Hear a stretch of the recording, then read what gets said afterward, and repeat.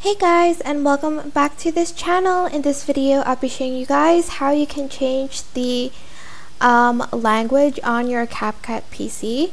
So you are going to select menu here and you're going to go to global settings. Then you're going to select language and just choose the language you want your CapCut PC to be in. There's English, French, um, I still don't know how to pronounce this Italiano. I think this is Japanese, in Spanish and also in Portuguese. So select one. I just um, I just selected English for mine and make sure you select save and CapCut will restart it in that specific language. That is how you can change um, the language of your app on CapCut PC. Just make sure you've updated your app first by going to menu. Um, I think uh, it is in more and version 1.1.0 and choose check for updates and update your CapCut first.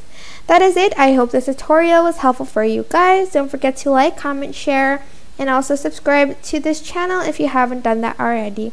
If you have any questions, just leave it in the comment section down below, and I will try my best to answer them all for you. Thank you so much for watching. Bye!